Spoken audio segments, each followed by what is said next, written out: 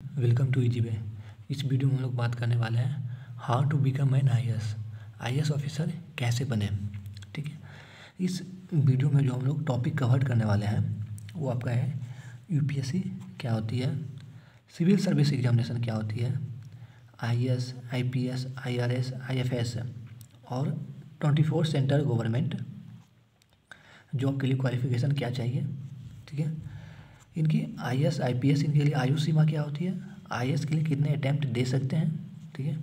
Eligibility criteria क्या होती है? आई एस बनने के लिए। एग्जामिनेशन पैटर्न क्या होता है? आई एस के लिए प्रारंभिक परीक्षा और मुख्य परीक्षा का पैटर्न क्या होता है? कितने मार्क्स का प्रारंभिक परीक्षा होती है? कितने मार्क्स की मुख्य परीक्षा होती है? और इंटरव्यू क्या होता है? ठीक है? और ये आई बनने के लिए आई एस बनने के लिए आपकी शैक्षिक योग्यता यानी क्वालिफिकेशन क्या चाहिए? तो इन वीडियो में हम लोग इस सारे टॉपिक पे अच्छे से डिटेल में बात करेंगे। तो चलिए वीडियो को शुरू करते हैं। सबसे पहले हम लोग बात करते हैं कि union public service commission UPSC क्या होती है? तो यह एक कॉन्स्टिट्यूशनल बॉडी है, ठीक है? इनका काम क्या होता है? फ़ंक्शन क्या होता है? तो इनका यूपीएससी का फ़ंक्शन होता है to conduct exam examination for appointment to service under the union ठीक है? और दूसरा आपका फ़ंक्शन होता है कि maintain continuity in administration administration में कंटिन्यूटी मेंटेन करना होता है और दूसरा कि अपॉइंटमेंट सर्विस अपॉइंटेड करना होता है अंडर द यूनियन ठीक है? इनका यूपीएससी का ये दो फ़ंक्शन होता है। अब एक एग्ज़ाम होता है जिसको, जिसका नाम है सिविल सर्विस एग्जामिनेशन ये एग्ज़ाम यूपीएससी कंडक्ट करवाती है। ये एग्ज़ाम किन पोस्ट के लिए होता है? ये एग्जामिनेशन आपका होता है इंडियन सर्विस एडमिनिस्ट्रेटिव सर्विस जिसको हम लोग कहते हैं I A S Indian foreign service जिसको कहते हैं I F S Indian police service जिसको हम लोग कहते हैं I P S Indian revenue service जिसको कहते हैं I R S Indian defence service Indian ordnance factory service Indian civil accountant service Indian railway traffic service Indian defence state service Delhi Andaman Nicobar civil service, Pondicherry civil service और Pondicherry police service, Indian information service और Indian trade service और other job के लिए twenty four, central government job के लिए examination conduct, exam होती है, जिसका नाम होता है सिविल सर्विस एग्जामिनेशन, ठीक है? ऐसे एग्जामिनेशन को कंडक्ट करवाता है यूपीएससी, ठीक है? तब हम लोग देखते हैं कि आई बनने के लिए, आईपीएस बनने के लिए, आईआरएस बनने के लिए जो कि सिविल सर्विस एग्जामिनेशन देके हम लोग बन सकते हैं, बनते हैं। उनके लिए क्वालिफिकेशन क्या चाहिए? ठीक है, शैक्षिक योग्यता क्या चाहिए? तो सबसे पहले हम लोग बात करते हैं क्वालिफिकेशन शैक्षिक योग्यता। तो आपका graduation from any recognise university यानी किसी भी रिकोगनाइज यूनिवर्सिटी से आप ग्रेजुएट हो।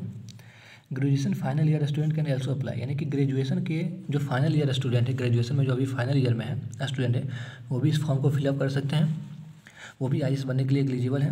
नो मिनिमम परसेंटेज रिक्वायर्ड यानी कि आपका ग्रेजुएशन में कोई भी मिनिमम परसेंटेज रिक्वायरमेंट नहीं है। सिर्फ़ आपके पास ग्रेजुएशन का डिग्री होना चाहिए, या तो आप फाइनल ईयर में है, ठीक है? ये कोई भी मिनिमम रिक्वायरमेंट नहीं है परसेंटेज का। अब हम लोग दूसरी टॉपिक है, हम लोग बात करते हैं आयु सीमा। न्यूनतम आयु सीमा आपको आई ऑफिसर बनने के लिए ट्वेंटी वन साल है, इक्कीस साल। अधिकतम आयु सीमा आपका है जनरल कैटेगरी के लिए बत्तीस साल ओबीसी के लिए पैंतीस साल और एस सी के लिए थर्टी सेवन सैंतीस साल, ठीक है? अब हम लोग बात करते हैं एलिजिबिलिटी क्राइटेरिया। ठीक है?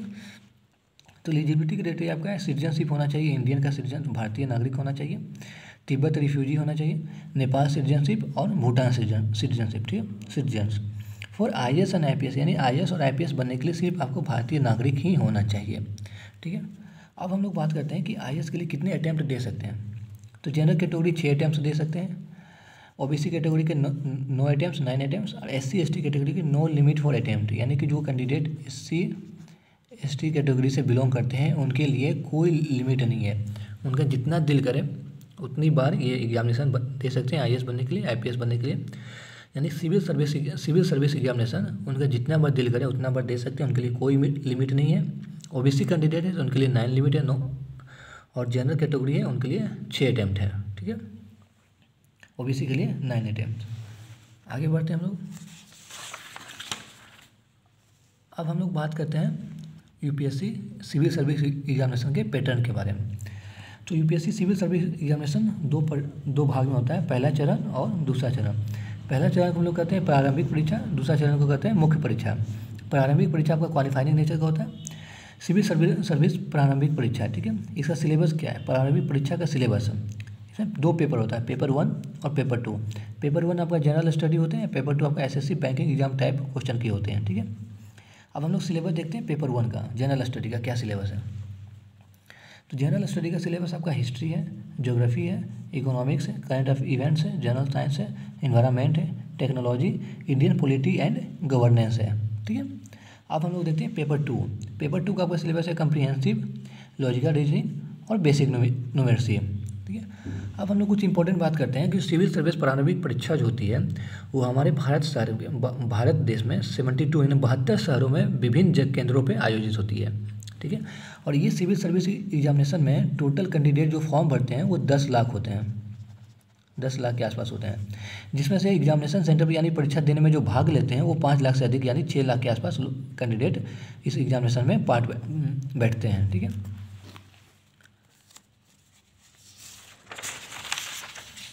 अब हम लोग बात करते हैं प्रारंभिक परीक्षा। प्रारंभिक परीक्षा पेपर वन समान अध्ययन पेपर टू समान अध्ययन टू। तो इसका एग्जामिनेशन पैटर्न क्या है? यानी परीक्षा का पैटर्न क्या है? तो पेपर वन में आपका सौ क्वेश्चन होंगे, दो सौ, दो आवर का टू दो घंटे का। पेपर टू में आपका अस्सी अस्सी क्वेश्चन होंगे, ये भी दो आवर्स का। ये दोनों पेपर में negative marking one by third आपके होंगे निगेटिव मार्किंग ठीक है? ये आपका एग्जामिनेशन पैटर्न है। अब हम लोग बात करते हैं सिविल सर्विस मेन एग्ज़ाम तो सिविल सर्विस में एग्ज़ाम में मुख्य परीक्षा जिसमें नौ पेपर होते हैं, टोटल मार्क्स सत्रह सौ पचास होती है, ठीक है? इंग्लिश तथा इंग्लिश तथा भारतीय भाषा के पास होने के लिए ट्वेंटी फाइव परसेंट अंक लाने होते हैं। ये नाइन पेपर में से दो पेपर आपके, एक पेपर आपके होते हैं इंग्लिश प्लस हिंदी लैंग्वेज की, ठीक है? इनमें आपको पास होने के लिए ट्वेंटी फाइव परसेंट मार्क्स लाना ही है नेसेसरी है, ठीक है? दो पेपर इंग्लिश प्लस हिंदी तीन सौ मार्क्स की होती है, और शेष पेपर ढाई ढाई सौ मार्क्स की होती है, ठीक है? मुख्य परीक्षा, नौ पेपर टोटल मार्क्स सात सौ पचास, सत्रह सौ पचास सॉरी समान अध्ययन के चार पेपर होते हैं, निबंध के एक पेपर होते हैं, इंग्लिश भाषा का एक पेपर होते हैं और ऑप्शनल सब्जेक्ट का आपका दो पेपर होते हैं। ये ऑप्शनल सब्जेक्ट आप अपने अनुसार से आप में आपका जिस सब्जेक्ट में आप ग्रेजुएशन किए हैं या जिस सब्जेक्ट का आपका इंटरेस्ट है, वो अपने अनुसार से ये दो पेपर ऑप्शनल आप रख सकते हैं, ठीक है? ये आपका प्रारंभिक परीक्षा क्वालिफाइंग नेचर का होता है, इसको क्वालिफाई ये मेनली भीड़ को कम करने के लिए होता है तो प्रारंभिक परीक्षा क्वालिफाई करके फिर से आप फॉर्म फिलअप करिएगा, उसके आप, उसके बाद आप सिविल सर्विस मुख्य परीक्षा देंगे उन्हें बैठ सकते हैं, ठीक है? और सिविल सर्विस मुख्य परीक्षा को क्वालिफाई करने के लिए आपको, करने के बाद आपको इंटरव्यू जिसे हम लोग कहते हैं पर्सनालिटी टेस्ट या इंटरव्यू में बुलाए जाएँगे। इंटरव्यू आपका दो सौ पचहत्तर मार्क्स के होते हैं टोटल तो आपका जो मेरिट लिस्ट बनेगी, जो रैंक ऑल इंडिया रैंक बनेगी I A R all India rank ये आपका मुख्य परीक्षा प्लस इंटरव्यू के मार्क्स को ऐड करके टोटल मार्क्स के अनुसार, यानी इंटरव्यू और मुख्य परीक्षा में जो आप मार्क्स गेन किए हैं टोटल मार्क्स उसके अनुसार से आपकी रैंक बनेगी all India rank rank one rank two जैसे जिस तरह से आपका मार्क्स ऑप्टेंट होगी, उसके बेसिस पे आपकी रैंक बनेगी और फिर रैंक के बेसिस पे आपकी जॉब एलाइटेड होगी। अगर आपकी अच्छी रैंक रही तो आपका, आप प्रेफरेंस दे रखें तो आप आई के लिए होंगे, फिर उसके बाद आईपीएस फिर आईआरएस फिर आईएफएस इसके अनुसार से रैंक के अनुसार आपकी पोस्टिंग मिलती है जॉब मिलती है। और रैंक रैंक जो बनती है वो आपका इंटरव्यू और मुख्य परीक्षा के मार्क्स को ऐड करके होता है। तो इस वीडियो में हम लोग इतना ही बात किए कि आई कैसे बनते हैं, ठीक है? आई बनने के लिए क्वालिफिकेशन क्या क्या चाहिए? शैक्षिक योग्यता क्या चाहिए? आयु सीमा मिनिमम आयु सीमा क्या चाहिए आई बनने के लिए, आईपीएस बनने के लिए? मैक्सिमम क्या चाहिए? जनरल कैटेगरी के लिए कितना चाहिए? ओबीसी के लिए कितना चाहिए? एस सी के लिए कितना चाहिए? एलिजिबिलिटी क्राइटेरिया क्या है? आईएएस के लिए कितने अटैम्प्ट दे सकते हैं? एग्जामिनेशन पैटर्न क्या है? प्रारंभिक परीक्षा कितने मार्क्स के होते हैं? मुख्य परीक्षा कितने मार्क्स के होते हैं? इंटरव्यू कितने मार्क्स के होते हैं? ये सारी चीज़ों, ये सारी बातों इस वीडियो में हम लोग डिटेल डिटेल में बात की हैं। अच्छे से समझे हैं। मैं आशा करता हूँ कि ये वीडियो आपको, आपके लिए हेल्पफुल रही होगी। अगर ये वीडियो आपके लिए हेल्पफुल रहा तो हमारे वीडियो को लाइक ज़रूर करिए। साथ ही साथ चैनल को सब्सक्राइब करिए। और हमारे वीडियो देखने के लिए धन्यवाद।